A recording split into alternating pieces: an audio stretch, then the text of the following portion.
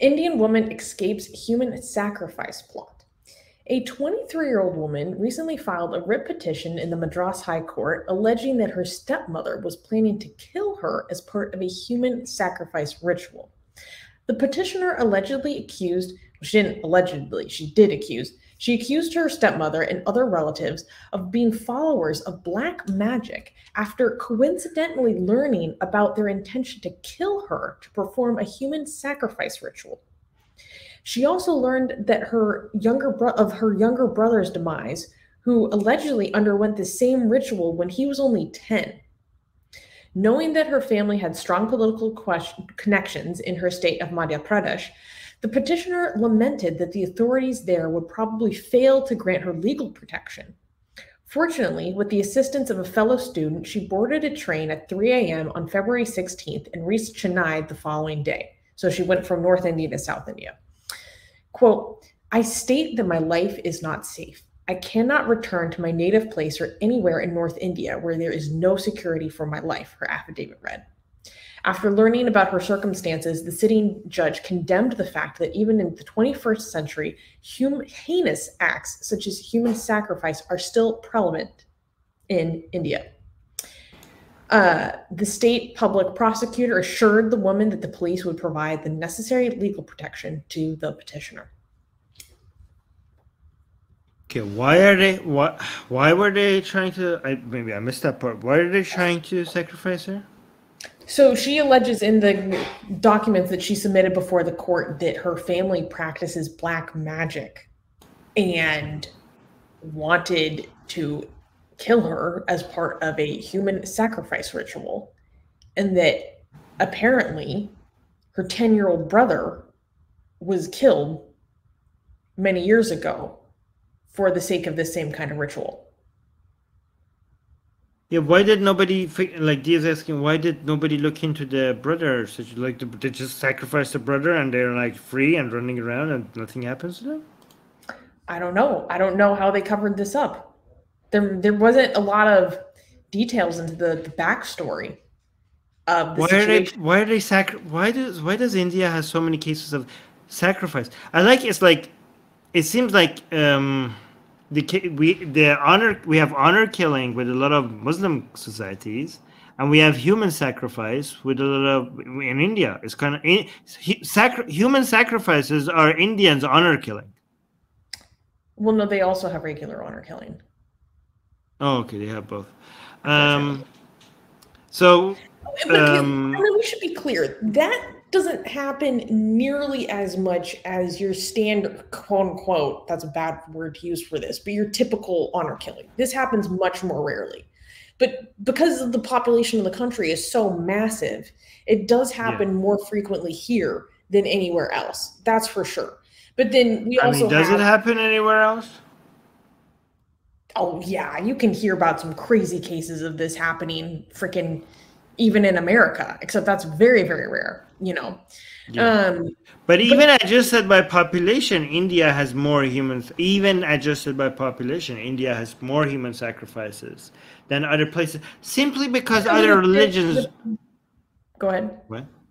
No, because like we don't have human sacrifices in Abrahamic religions. That's the whole point of the story of Abraham, right? Like it's Yeah. like oh the whole the whole point like not the whole point. The whole point is like to to sell us divine command divine command theory, but part of the idea was like oh you said go sacrifice your son for Allah for God. I, I have my Islamic mindset, on. um, and and it was like okay maybe not maybe like let's just end human sacrifice actually christianity has that as well right so you know one human sacrifice to end all sacrifices so they don't even have animal sacrifices in christianity anymore right Mhm. and in islam and judaism you had abraham wanting to do a human sacrifice and also christianity and they're like okay no we do the lamb instead so abrahamic abrahamic religions don't have human sacrifice but hinduism and hindu adjacent um, ideologies had human sacrifice. So that's So why my happens more in understanding is that a lot of this particular manifestation of the practice comes from tantric practices, tantra. yeah, so that's why. Hindu adjacent. That's why I said Hindu adjacent. Yeah, because people think that tantra is just like having very steamy, like mystical sex. It's actually It is also that. It, it, can be that, but it is also a lot of this. It is steamy, b- amazing sex and human sacrifice. It's very Freudian in a way. yeah. Yes, yes, yes. yeah. The Also, Kali is involved a lot with tantric human sacrifice. Was this for Kali? I don't know. But we did cover A lot of- there was a human sacrifice thing that almost happened because Multiple. Um, yeah, we like when it comes to go- Hindu gods that are involved in human sacrifice. A lot of them are Kali related.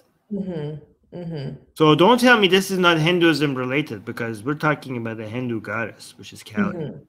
Yeah.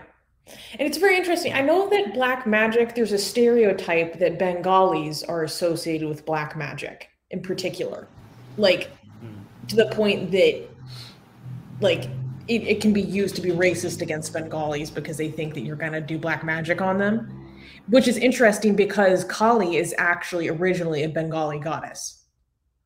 Yeah, but it then it was it was merged into Hinduism. Yeah, know? yeah, yeah. Just like just like Greek gods were like merged from different religions, local religions into one, and then Egyptians as well. So Kali was a Bengali god, a goddess, and then it got merged to the other with the other, you know, Indian gods as well. Mhm. Um, somebody saying, wasn't Jesus a human sacrifice? Yeah, it was a it was a human sacrifice. Yeah, it was a human sacrifice to end all sacrifices. yeah. So Christianity not only it doesn't have human sacrifice, Christianity doesn't even have animal sacrifice. It's like Well, Judaism has. Okay, sure. Okay, fine. Okay, but we don't like in Christianity don't kill animals. Judaism and Islam have animal sacrifice. Christianity has no sacrifice, no sacrifice, um, because Jesus did it all. Like I, I, I covered it. I covered it, guys. I covered it all. So no, no more. Um, which doesn't even count because he came back. Usually, when I kill a lamb, it doesn't come back. Um, secular Sakai saying, can theistic th- uh, Satanism be considered Abrahamic? It was as anti-Abrahamic. So I think like you because Satanism has human sacrifice, right? But I don't think you could put that under Abrahamic because it's the opposite of it. I don't know. Maybe it is. It's No, but it's still within the Abrahamic Yeah. like Okay. metaverse, so to speak. metaverse. Yes, metaverse. Or yeah, exactly. Okay, so yeah, I guess I guess Abrahamic religions do have human sacrifice because Satanism is one of them. You're right. That's a good point. That's And point. to be Yeah. fair, Dia is also pointing out that Catholics do technically eat Jesus every Sunday.